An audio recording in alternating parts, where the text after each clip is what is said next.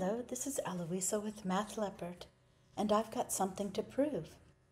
Namely, that the square root of a prime number p is irrational. Let us first consider the field of real numbers, denoted by blackboard bold R, or more easily understood as the number line. Contained within the real numbers are the set of integers z, from the German Zahlen. Those numbers, both positive and negative, we use to count 0, 1, etc., expressed in set notation as dot dot dot, negative 4, negative 3, negative 2, negative 1. That is all the negative counting numbers. Then 0, 1, 2, etc., all of the positive counting numbers, including 0. However, there is a subset of real numbers containing all of the integers within it, the rational numbers q for quotient. These include fractions such as 1 eighth, 3 fourths, etc., more formally stated as the set of all fractions of the form a over b, where b is necessarily non-zero, and where a and b are integers, and let's add to that that they're fully reduced meaning that they have no common factor other than 1. Now let's consider the set of numbers that are not rational, called the irrational numbers denoted by capital I. Where do these numbers reside on the number line? If I look at the set of rational numbers, something interesting occurs. Let's look at 1 eighth and 3 fourths from earlier. It should be easy to see that there are many other fractions in between them, say 5 sixteenths, for example. Continuing in a more methodical manner, we can take the average of 1 eighth and 5 sixteenths to arrive at 7 over 32.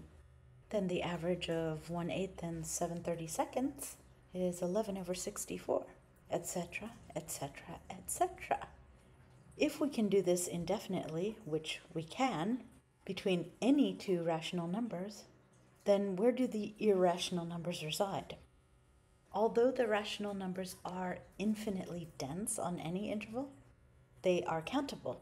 This entails we can assign a one to one correspondence between them and the natural numbers, meaning they form a discrete and infinitely discontinuous set. So, as such, the irrational numbers exist at the limits of rational numbers. Those numbers are not in Q. So, now on to our proof. So let's recall for all prime numbers p, such that p divides the product a times p. This implies that p either divides or is a factor of a, or p divides b. In this proof, we want to show that the square root of p is not rational. That is, it is not an element of q. For contradiction, let's assume root p is a positive rational number that can be expressed as a quotient of a over b, where a and b are relatively prime, that is, their greatest common factor is 1. Squaring both sides of this identity gives us b squared times p is equal to a squared. This implies that p divides a squared, which of course is just a times a, indicating that p divides a. If p is a factor of a, then there exists some positive integer n such that a can be written as p times n. That is, b squared p is equal to p squared n squared. Reducing the p's gives us b squared is equal to p times n squared, which means that p divides b by the same argument as above. If p is a factor of b, then there must exist a positive integer m such that b can be written as p times m.